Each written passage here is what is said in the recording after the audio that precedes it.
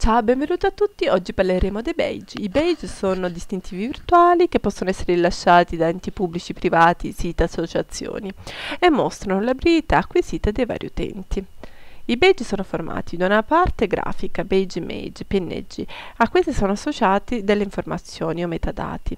Badge name, descrizioni, criterio, issue, evidence, date issued, standard e tag.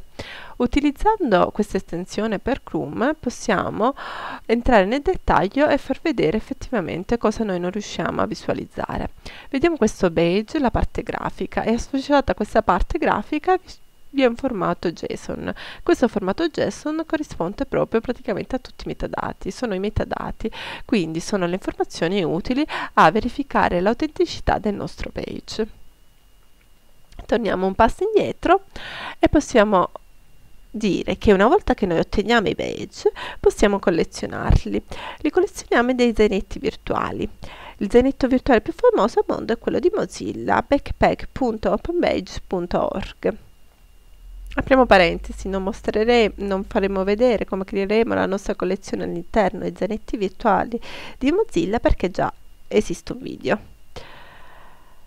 fatto da noi. Chiusa parentesi. Allora, una volta che entrate e create la vostra collezione potete renderla pubblica, quindi potete condividere i vostri badge su Facebook, Google+, Twitter e LinkedIn. Quest'ultimo è importante perché è un social legato al lavoro, quindi mostra le abilità a futuri datori di lavoro. Allora, eh, gli open badge sono dei distintivi, quindi eh, sono delle competenze acquisite. Questo sistema è utilizzato da una molteplicità di persone e di utenti, però noi li possiamo cla eh, classificare in tre grandi tipologie.